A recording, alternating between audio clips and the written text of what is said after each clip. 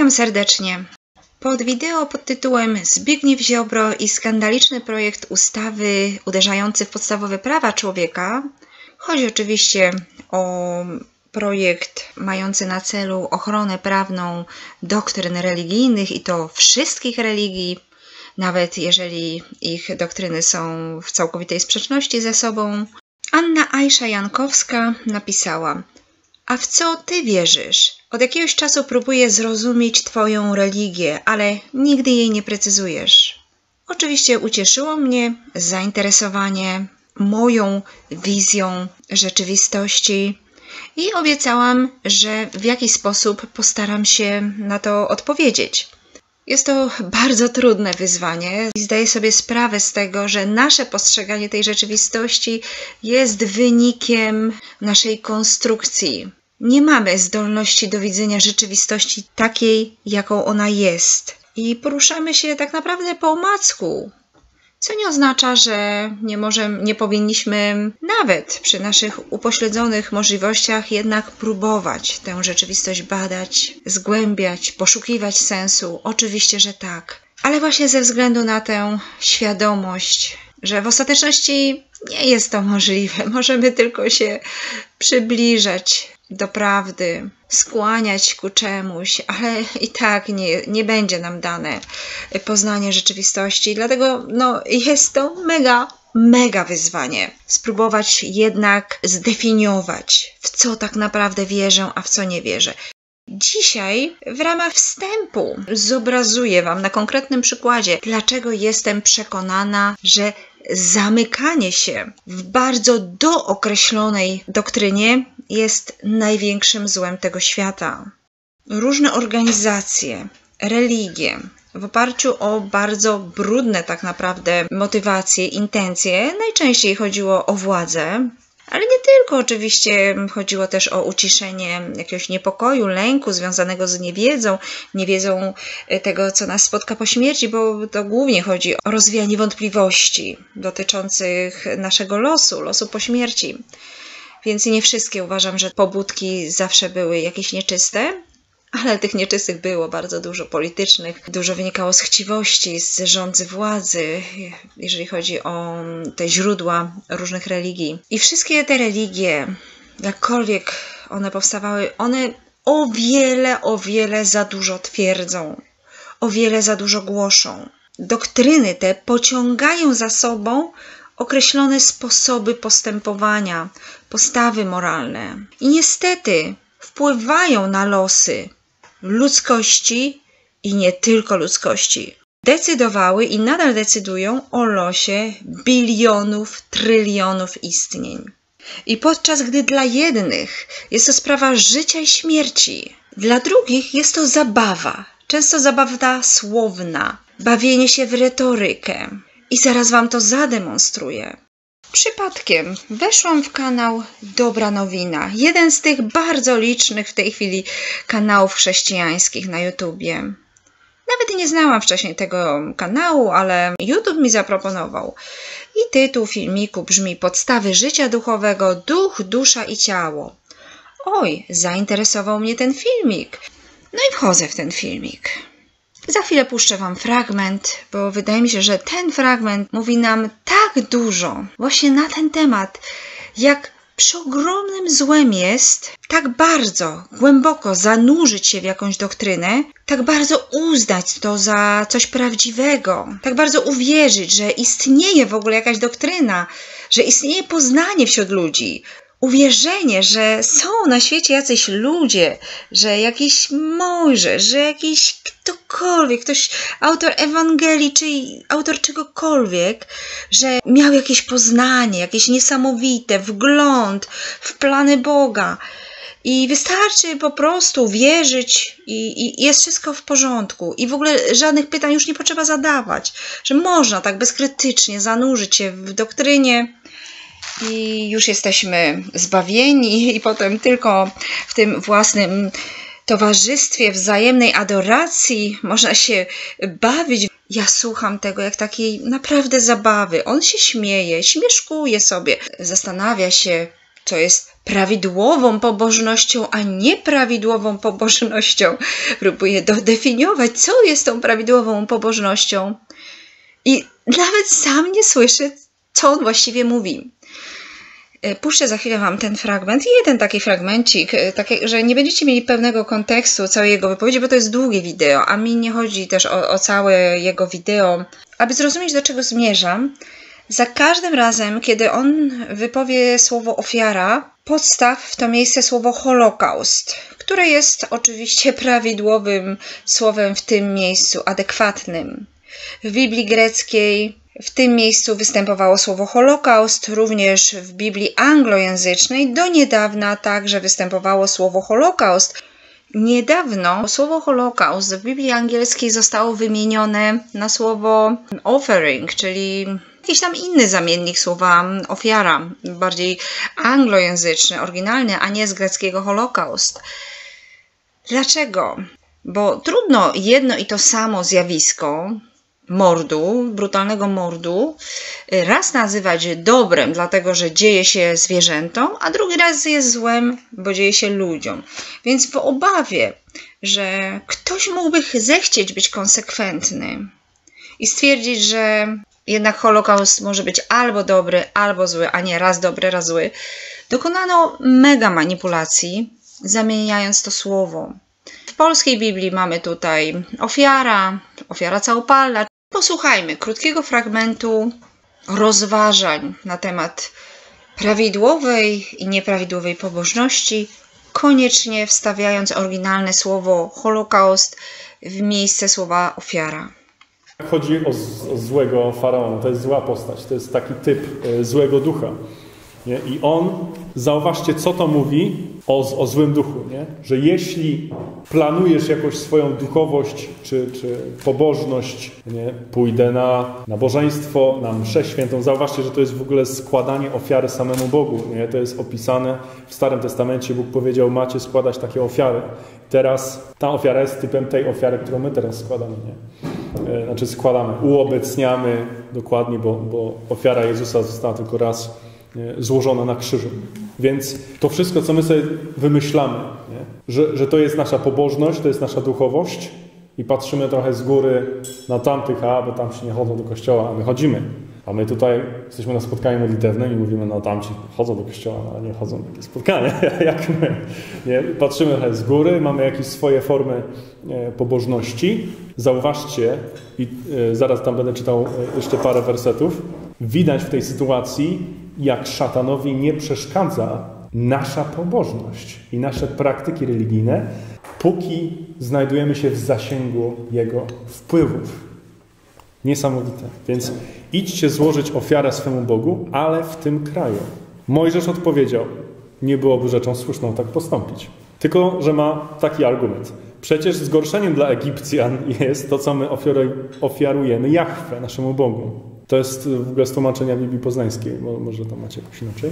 Przecież zgorszeniem dla Egipcjan jest to, co my ofiarujemy Jahwe, naszemu Bogu. Gdybyśmy więc na ich oczach ofiarowali to, co jest zgorszeniem dla Egipcjan, czy by nas nie ukamienowali? My chcemy odejść o trzy dni drogi na pustynię i złożyć tam ofiarę Jahwe swemu Bogu, jak nam to polecił. Faraon rzekł, ja zamierzam was puścić, abyście na pustyni złożyli ofiarę Jahwe swemu Bogu, jakby się to zgadza, ale mówi, bylebyście się zbytnio nie oddalali. Niesamowite to jest dla mnie. Jak taka formuła, pamiętam, jak byłem dzieckiem, się mówiło, mogę iść na dwór, mama, no możesz, go nie za daleko.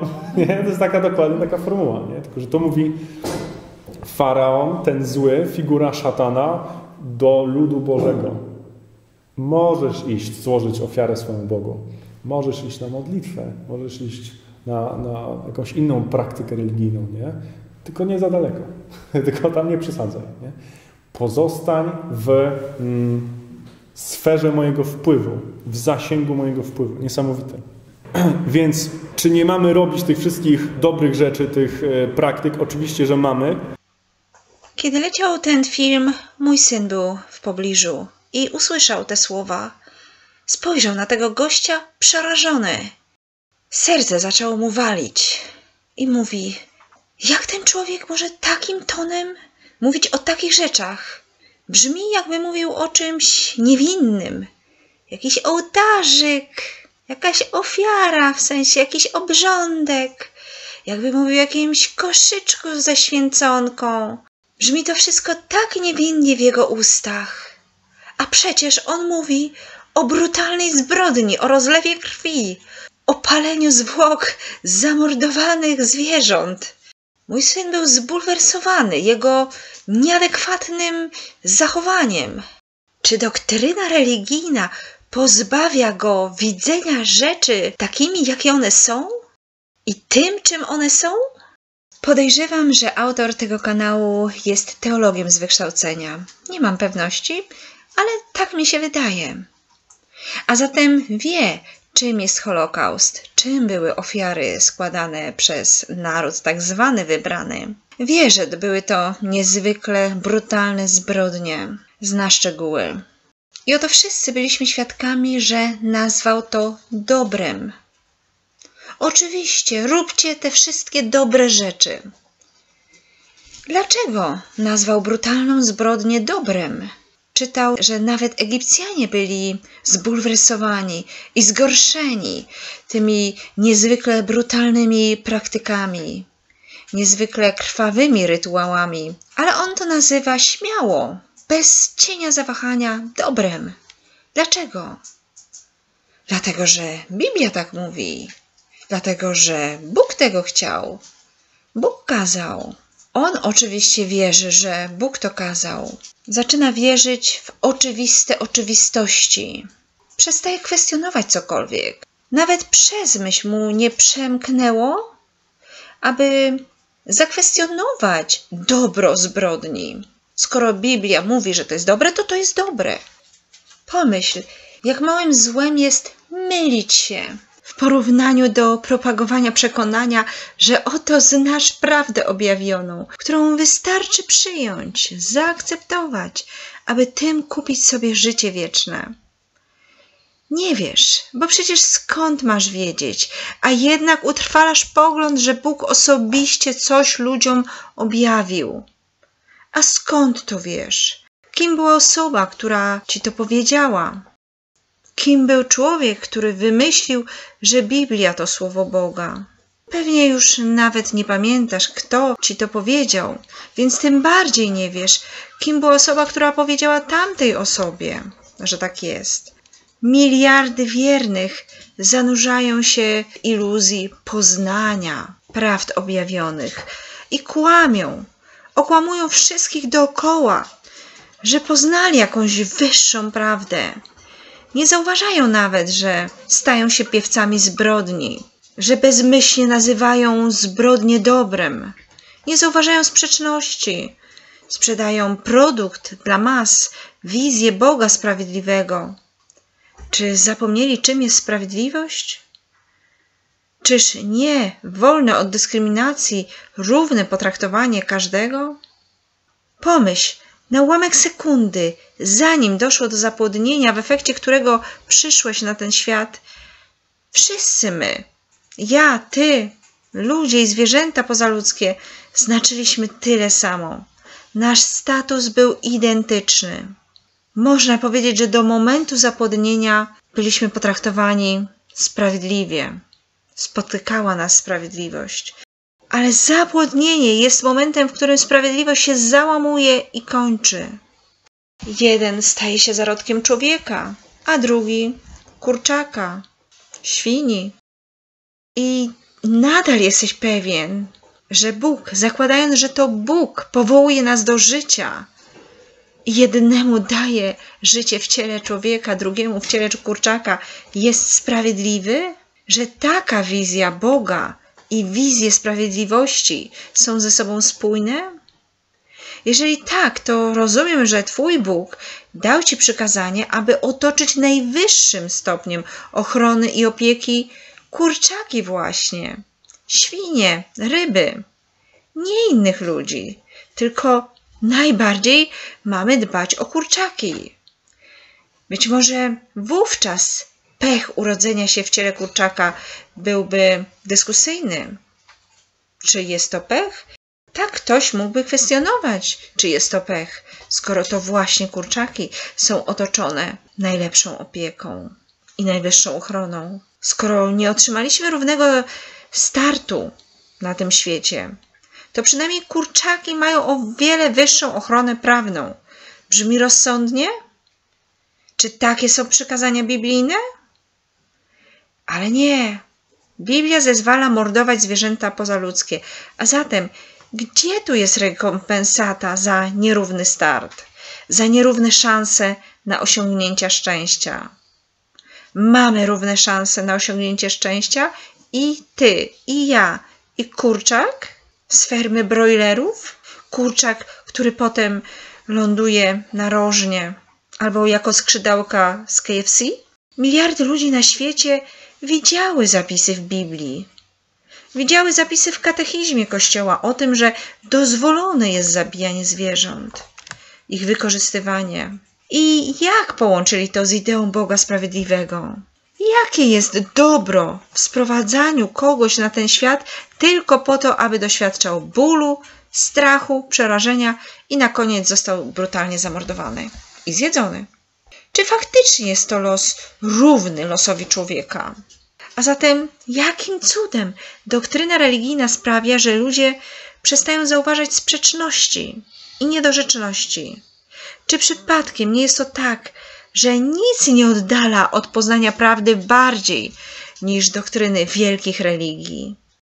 Będąc samemu ze swoimi własnymi oryginalnymi poglądami, masz o wiele większe szanse, że nie popadniesz w zbiorową halucynację umacnianą przez tłum wiernych, że unikniesz wiary w tak zwane oczywiste oczywistości, takie jak na przykład to, że Maryja jest królową Polski.